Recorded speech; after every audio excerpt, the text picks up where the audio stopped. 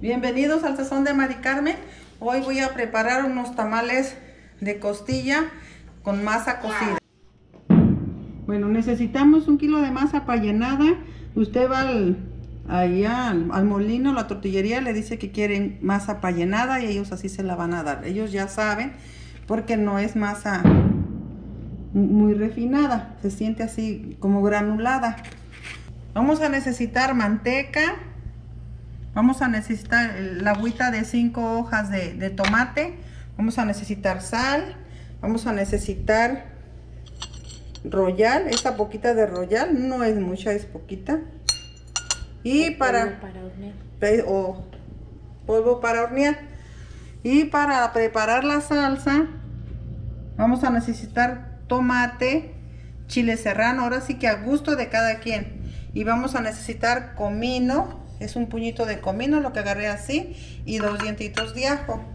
Y la carne ya está lista, ya está cocida. Y aquí tenemos las hojas. Nos falta todavía lavarlas, ahorita las vamos a poner a, a echar en agua para que se suavice y las vamos a lavar.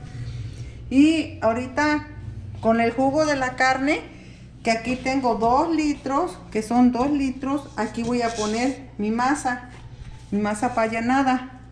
La voy a poner, no está en la lumbre, la voy a, a, poner para que se integre muy bien y vea yo cómo me va a ir quedando. Ahí le puse ya el kilo de masa. Ahora le voy a, a, batir para ver cómo está de agua. Ahí está. Son dos litros de agua. Ahora le voy a poner esta poquita que sería como un cuarto. Un cuarto de agua. No, le voy a poner la mitad del cuarto.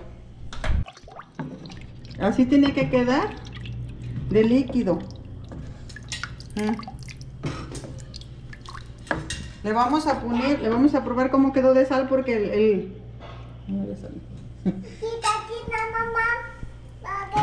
Le falta poquita porque como yo le puse sal a la carne, le falta muy poquita.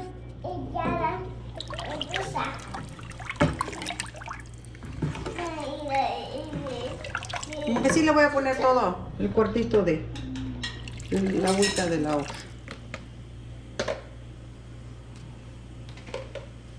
Voy a probarlo otra vez a ver cómo está de sal. Si le faltó, lo voy a poner otra poquita.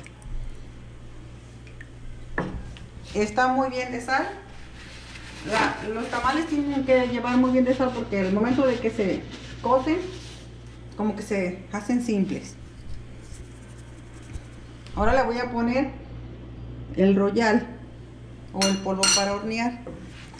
Es poquito lo que le puse porque las hojitas de, de tomate ayuda también para que alce la masa, esponje más bonito el tamal.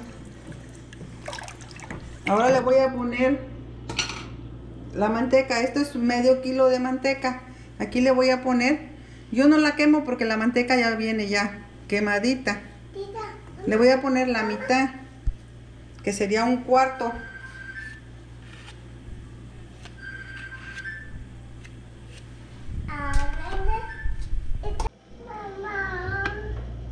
Ahora voy a picar los tomates y los voy a poner en la olla que se vayan cociendo.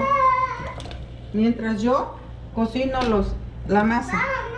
Voy a poner para que vaya aventajando. Les voy a dejar que se vayan cocinando. Ahora sí ya le voy a prender a mi estufa. Y aquí, aquí voy a estar meneándole porque si no se pega. Vamos a estar aquí menea, menea hasta que ya se seque todo el agua. Y aquí ustedes van a ir viendo cómo le va a ir haciendo falta manteca. Le van a ir poniendo poco a poco. Yo pues le puse como un cuartito de manteca. Y ya de ahí ya si me hace falta le voy a ir poniendo. Y aquí se les tiene que estar meneando pues para que no se le pegue su masa porque si se les quema ya sabe muy feo.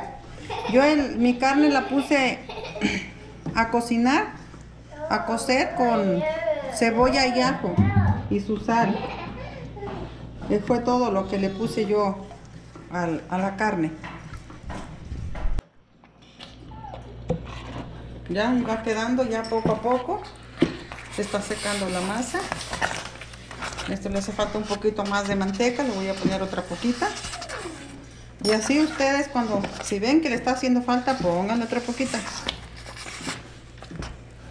Voy a poner poquita.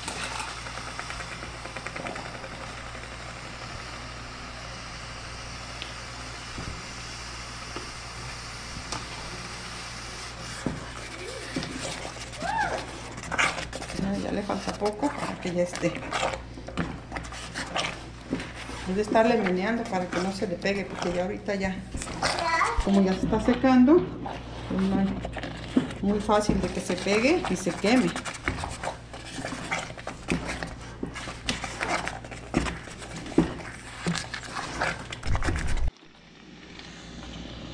Ya está la masa, ya está lista. Como me quedó. Está bien cocida. Ustedes le van a hacer así y sale limpio. Es cuando ya está y quedó muy bien de manteca. Ya le voy a apagar para que se vaya enfriando y ya poder hacer los tamales. Esto es lo que me sobró, les quiero mostrar lo que, lo que me sobró de la manteca, del medio kilo. Le puse pasadito más de un cuarto.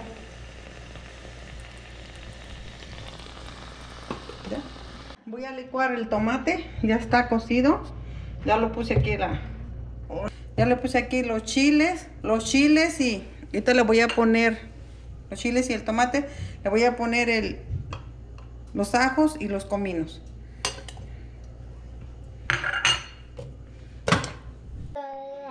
Ya tengo la salsa lista, ya licuada.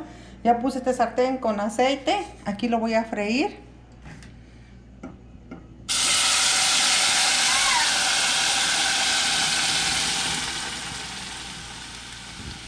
Aquí mismo voy a poner las costillas para que se concentren bien los sabores en la carne.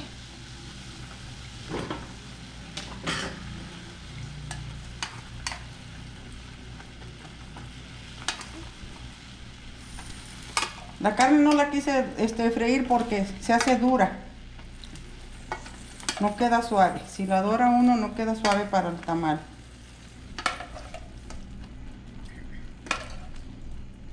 Esto no a caber, ¿verdad? Es la niña. Aquí los voy a dejar que hiervan unos 5 minutos y ya le apago. Listo para preparar mis tamales. Ya está mi salsa. Yo no la quise que quedara muy este, líquida porque al momento de ponerse en la masa se sale el líquido. Lo dejé espesito, sí. Ya vamos a hacer los tamales. ¿Qué es eso? Ya tengo mis hojas bien lavaditas. Las lavé y están bien suavecitas. Las dejé un ratito en el agua y se hicieron suaves. Ahora vamos a hacer los tamales. Uy, ¿qué hace? Un rico tamal. ¿Qué hace, tita? Un rico tamal, amor. ¿Ahorita tamal? Así, les tiende uno para que quede la carnita en medio. ¿O tinita piedra? Ajá. Necesito póngale Así. Y... A la salsa, para hacer la salsa ocupé un kilo de tomate. ¿A salsa? Para que quedara así espesita. ¿A salsa, Así los hago así, se les dobla y se los voy a dejar aquí acomodaditos. Así voy a hacer con toda la masa. Sí, mi amor.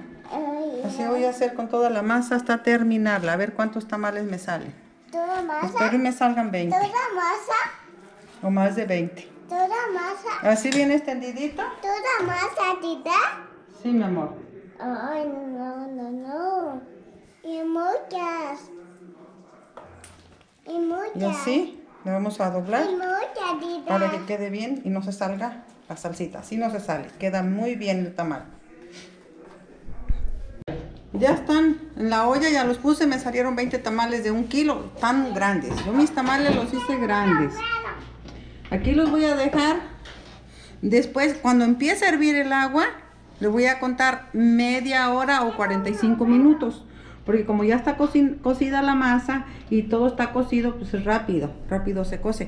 Nada más le voy a dar de mm, 30 minutos a 45, después de que empiece a hervir. Lo voy a tapar, le voy a echar esta, que no se le vaya aquí, están los tamales, no se le vaya el vapor. Y le voy a poner su tapadera. Ya que unos 45 minutos vengo a checarlos para ver ya cómo están.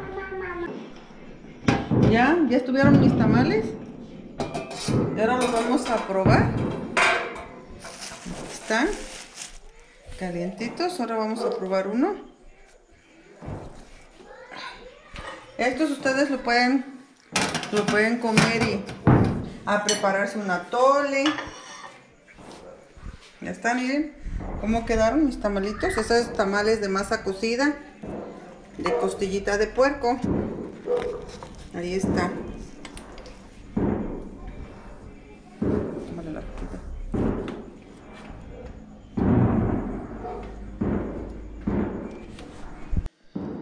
Y así es como quedan los tamales de masa cocida de costilla de puerco.